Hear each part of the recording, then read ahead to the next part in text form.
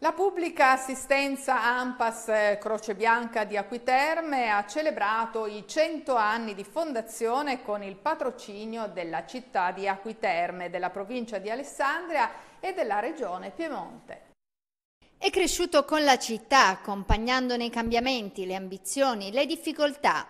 Da un'esigenza del territorio concretizzata nel 1919, la Croce Bianca di Acqui Terme ha saputo trasformarsi in una risorsa fondamentale, crescendo nei volontari e nei soci che la sostengono e diventando un punto di riferimento consolidato per l'intera comunità.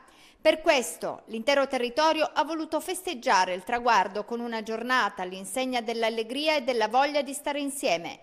I volontari, i soccorritori e il corteo delle ambulanze delle consorelle AMPAS hanno sfilato per le vie cittadine. Alla testa della parata hanno trovato posto i gonfaloni e i labari delle associazioni partecipanti e delle bande musicali di Acquiterme e della città di Pizzo Ferrato. Il momento solenne della benedizione della bandiera si è svolto nella parrocchia San Francesco di Acquiterme alla presenza del vescovo Luigi Testore.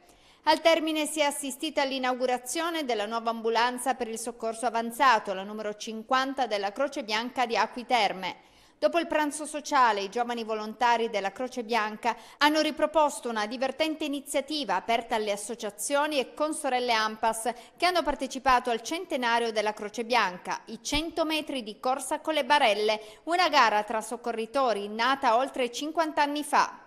Al termine si è tenuta la premiazione dei volontari e dei donatori di sangue. Il volontario con più anni di servizio è Bruno Torielli, che ha ricevuto la benemerenza per i suoi 53 anni di attività nell'Associazione Acquese. Ritengo che la manifestazione sia riuscita benissimo in tutte le sue fasi, in tutti i suoi momenti. I militi mi hanno dimostrato, mi hanno già detto di essere stati tutti molto soddisfatti, tutti contenti. Io non posso far altro che ringraziare tutti i miei militi, tutte le persone che ci hanno aiutato questa, a organizzare questa manifestazione e ovviamente devo ringraziare tutti quelli che hanno partecipato direttamente o indirettamente all'evento, iniziando dalla, dalla parte politica, non dimenticandomi della nostra associazione dell'AMPAS che ha partecipato attivamente a tutta l'organizzazione del nostro centenario e tutti i nostri fornitori e amici. Ai tempi, una notte, alle tre di notte, siamo andati su un paese qua, Roccaverano, che è circa 20 km da Acqui, con la neve per terra. Siamo andati a prendere un neonato, prematuro. L'abbiamo preso con la valigetta che è da portare i neonati, attrezzata che poi avete già il video, e praticamente siamo andati da Roccaverano fino a Alessandria con questa valigetta in mano e, e tenere questo bambino che è nato. E ancora oggi questo bambino vive perché ha, ha qualche anno e, e, e vive e sta bene. Ed è una bella cosa perché è una soddisfazione che hai salvato un, una vita umana, con la neve, una storia l'altra. Non c'erano i dottori ostetriche o, o tutte le, le, attrezzature che ci sono oggi per far nascere un bambino, che quando nasce un bambino nasce già in una struttura con dottori e tutte quelle questioni lì. E quella è stata una bella esperienza.